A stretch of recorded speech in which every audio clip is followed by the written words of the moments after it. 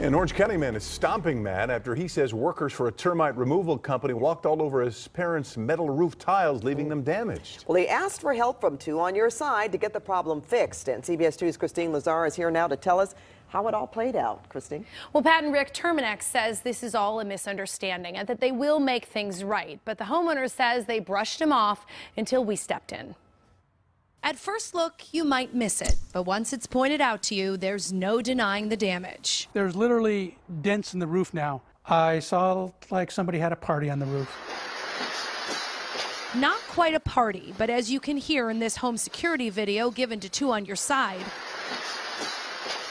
Workers sound heavy footed when they're walking back and forth on the roof of Mike Perez's parents' home here in Anaheim Hills. I should have gone with my gut. I knew something was wrong. Perez was the one who hired the Terminix workers, who he says did the damage last month. They were here to fumigate the house for termites. Being the, the eldest son, I was trying to do the right things, and uh, I felt like I let him down. Perez knew the workers would have to get on the roof and walk on metal shingles, but he says he was assured by his sales rep from Terminix that they put wood planks on the roof to distribute the workers' weight and minimize damage. His supervisor also said uh, everything was fine, don't worry about it. And I said, okay, you guys know what you're doing. You're the professionals. But in this home security video, you can see the first worker to go on the roof. It looks like he's holding a tent. There is no sign of any wood planks. Perez was monitoring the video that day and immediately called his sales rep. And he says, don't worry, don't worry.